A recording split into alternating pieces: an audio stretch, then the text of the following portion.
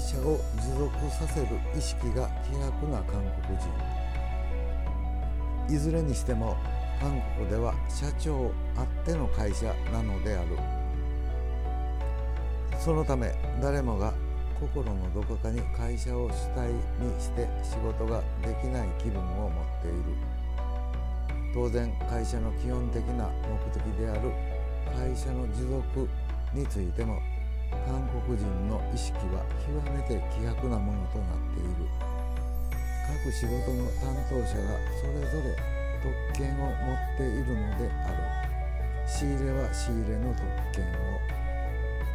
販売は販売の特権をと。みんなが自分の特権を作ろうと努力している。自分が知っている。仕事のノウハウを他の社員に教えるのをとても嫌がる。自分がいなくては何も動かないということに大きな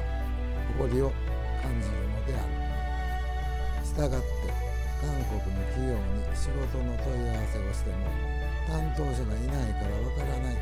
という答えがよく返ってくる日本の会社では担当者がいなくても代わりの人が答えられるシステムがよくできているが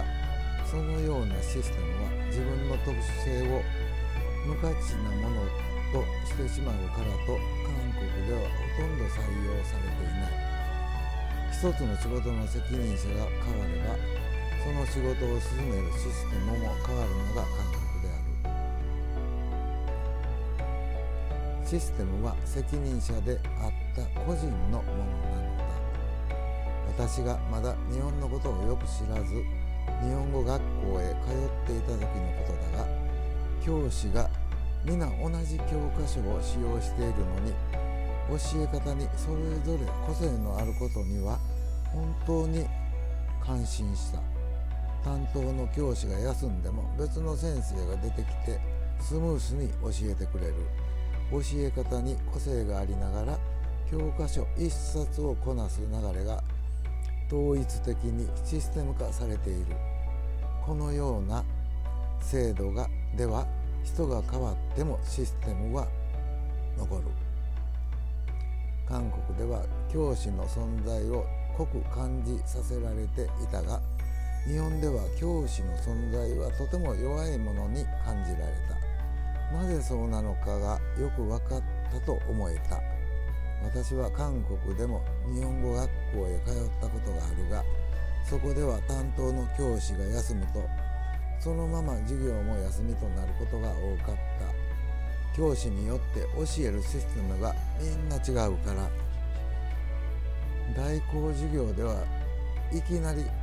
教わったこともない。内容となったりすでに教わったことを再び聞かされたりということが起こりいつも混乱していた。